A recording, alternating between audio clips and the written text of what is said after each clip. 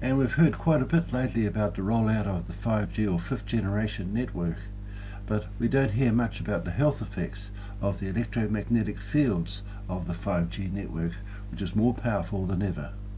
5G mobile technology, which will affect many aspects of our lives, will be rolled out in December. Vodafone announced today. So what does the G stand for? Simply, generation. Let's take a look back now at how technology has changed through the years. Remember these? Yes, dubbed bricks, they brought in the first generation of wireless technology in the 1980s, analog and supported voice calls only. It turned digital in the early 90s with 2G, the first major upgrade introducing texting and basic picture messages. 3G in the late 90s ushered in much faster speeds and many things we now take for granted, like web browsing, email, video calling, and the term smartphone. The first iPhone debuting at the end of the 3G period in 2007. 4G, the current standard, that came in in 2008, enhancing mobile web access like online gaming, HD mobile TV and 3D, plus video conferencing. Here's Laura James again with how 5G will really up the game. Hundreds of birds have fallen from the sky in The Hague, the Netherlands, during a 5G experiment to see how large the range was and whether the new wireless technology would cause any harm in the local area.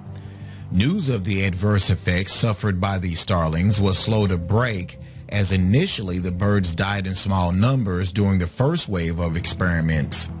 However, when a further 150 birds suddenly died at the same time, falling into a public park, people began to take notice and investigate what caused the death of 297 birds in a park in The Hague. Now, if you look around the park, you might have seen what is on the corner of the roof across the street from where they died. A new 5G mast where they had done a test at almost the exact same time as the birds fell from the sky. Now, according to reports, nearby ducks seemed to react oddly as well. They, at the same time, put their heads underwater to escape the radiation, while others flew away, landing on the street or in the canal. Now, this information that I'm giving you now comes from a local's Facebook page in that area. In the meantime, back on October 30th, 2018, we received some more information. The birds that fell massively dead would be the victims of an experiment performed on those days in The Hague where RF radiation was tested with a peak frequency of 7.40 gigahertz.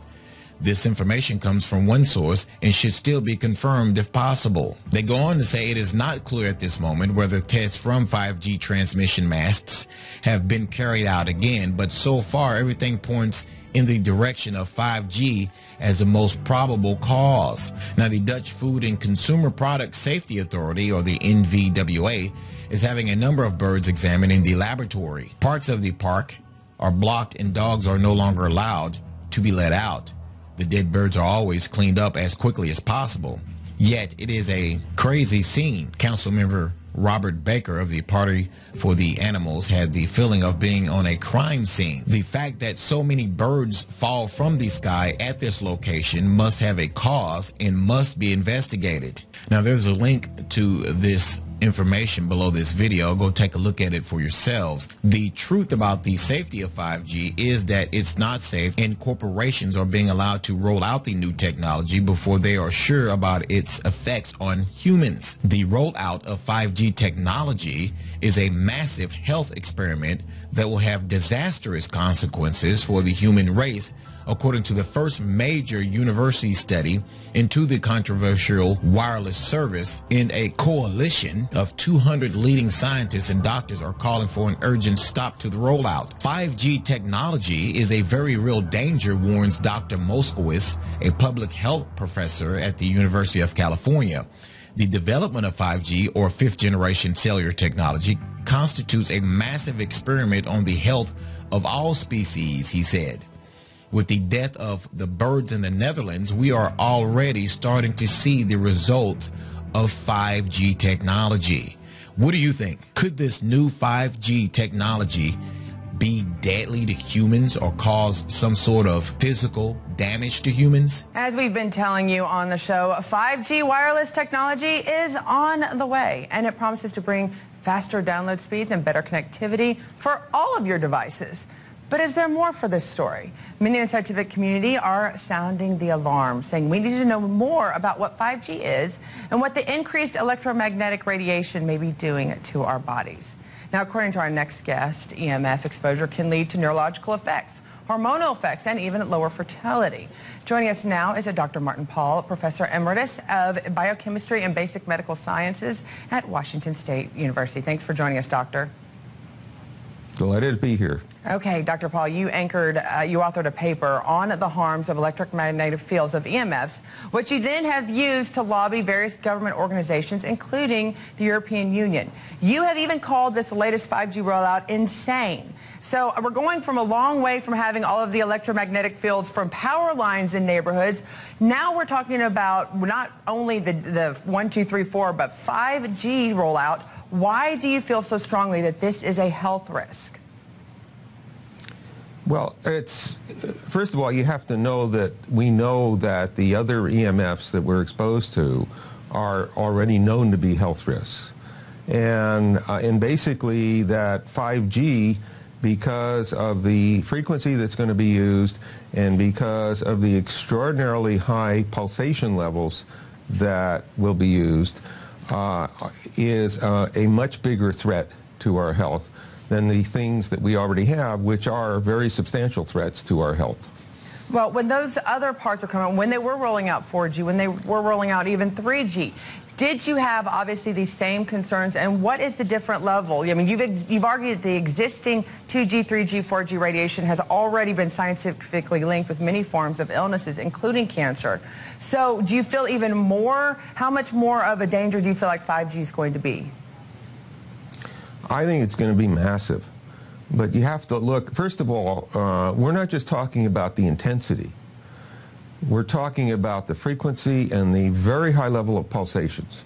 There's a huge literature which shows that pulsed EMFs, EMFs that pulse up and down very rapidly, are in most cases much more biologically active than our non-pulsed EMFs.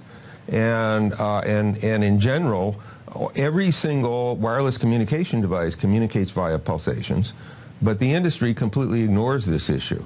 And when you get up to 5G with the extraordinary high levels of pulsation, it's absolutely, it, it's absolutely essential that we not ignore it. And, and uh, the problem with, five, with, with, uh, with, um, with 5G is that they're planning to put out tens of millions of these antennae all over the place without doing one single biological safety test. And that's why I said I thought this was totally insane. Well, that's the question. If these technologies pose such a grave health risk as, as detailed in all of your research, then why do you think it's being promoted so aggressively, even just recently?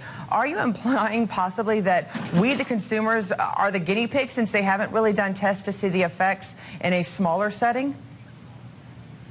Uh, absolutely. I mean, that's not an implication. It's a statement. We are, yes. Okay, so we are. So here's my question for you. What can we do, whether it be 5G or right now, what is, what is one of the things that you tell those that are closest to your family and friends that they can do to, if, is there anything they can do to help protect themselves from these radiation waves that we're already experiencing? Well, there are many things you can do to make things better. Uh, the problem is, of course, it gets harder and harder to do them as we introduce more devices and more dangerous devices. So you can uh, you can put you, you can put uh, shielding in your homes, for example. You can uh, take Wi-Fi out of your homes. You can um, even shield your body, although you know people talk about tin hats and all that kind of stuff. But um, you know that there there is shielding that can be at least somewhat useful, and uh, but ba and basically, you can measure the intensities that you're exposed to and try to keep yourself in, into lower intensity fields. The problem is that intensity as such is only one measure.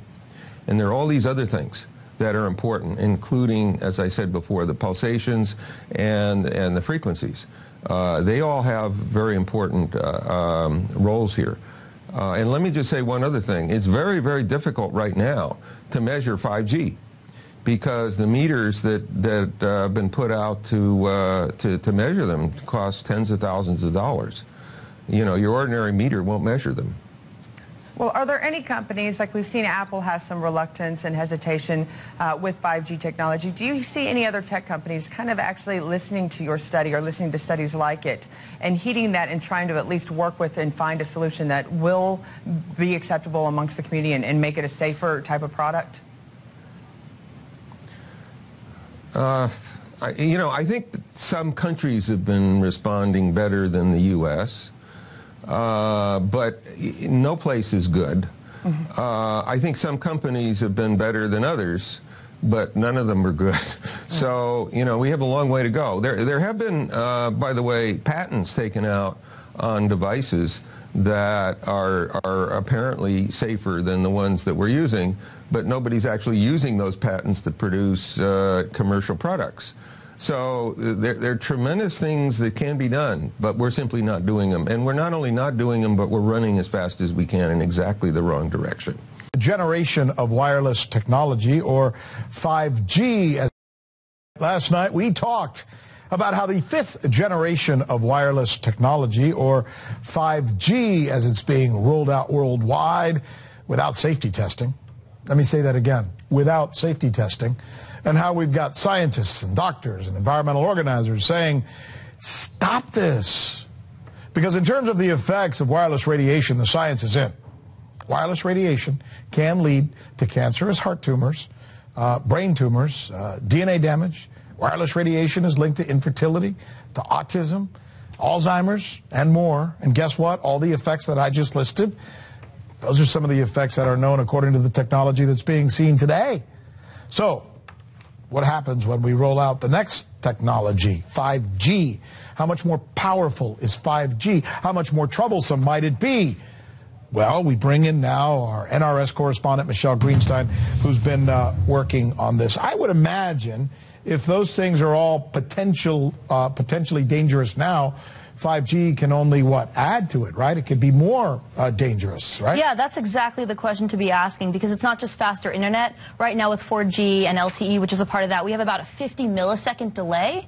5G is going to bring us about a 1 millisecond delay. So you and I are not going to notice that technological difference, right? But what this means is that machines will be communicating with, e with each other quite seamlessly. And 5G is going to be the platform, it's going to be the infrastructure for all of this smart grid technology, the Internet of Things, right? Right? We're going to be have integrated smart homes with all of our devices connected. That means you can press a touch screen on your refrigerator and order more coffee or set the mood lighting or start playing some music. And we're told that things like smart driving cars are going to lead to less accidents or that smart meters are going to give utilities and customers more data, more information so we can avoid blackouts and things like that. But of course, all this more data from a health perspective means more disease because these devices are constantly pulsing with radiation. Pulsing with radiation. I would think that if someone had come and said, we are going to develop this omnipresent system that's going to surround us with this stuff, that's going to be pulsing uh, radiation everywhere, somewhere along the line, somebody would have asked, well, hold on a minute. Let's run this by the experts first and make sure we're all going to be safe. So Surely. how do we get to this point? Well, I think the really important question to ask is how can we protect ourselves against this wireless radiation? Yeah. And I actually spoke to Cece Doucette. She's the founder of an international nonprofit called Wireless Education. And I asked her what we can do to protect ourselves. Let's see what she said. Okay assess what you have in your own possession that you can control. For example, in my home, we have completely hardwired all of our technology. My computers run a lot faster. They're certainly more safe because we don't have any radio frequency exposures. A lot of our technology appears to be hardwired, but you have to take it one step further and also go into your settings and turn off all the antennas. You can buy a little adapter to hardwire most of your cell phones, and that just means plug it into your router using an Ethernet cable and then just put a little adapter on that will allow you to plug directly into your device. But plugging it in does not automatically disable those antennas. So you just simply go into settings, identify all the antennas. One cell phone may have five or six separate antennas. There could be one for cellular, one for data, one for Bluetooth, one for Wi-Fi, one for locator, and by now the industry is using us as their network, so there could be an additional one for a hotspot. Turn them all off and hit save, and you will have nice, safe technology. Hmm. So she's speaking from a personal perspective, right? We should make sure that as many of our de devices as possible should be hardwired. But the issue with 5G is that it will be impossible to walk outside without exposing yourself to this radiation because Right. these small cell towers are going to be everywhere. Now, Rick, you asked how we got here. We got here because the FCC, the organization that is supposedly supposed to be hmm. regulating the wireless industry, has been completely captured by the wireless industry itself. Hmm. We know that these so-called public servants or our representatives and all these government entities have really been captured by the wireless industry, and that's what happens with when any industry gets so big that it can afford to use a government body. Enamored and other ways, I imagine, as well. Right, they're also enamored because the industry has been successful in hiding the health risks. By the way, uh, we're down to 30 seconds on this segment, but I just wanted to ask, we should maybe, maybe we should do a segment on the loss of privacy, the uh, surveillance issue regarding. Absolutely. We, 5G means constant surveillance with the ultimate goal being a network of things with every single thing on the planet connected to this network. And that's why you're seeing things like the Washington's technological war on China because China is way ahead of us in terms of 5G. And of course, the U.S. wants their hands on that surveillance infrastructure. so it sounds like I sold you into doing another segment on this. oh no, now I have to do that. Michelle Greenstein, thank you very much. Thank you.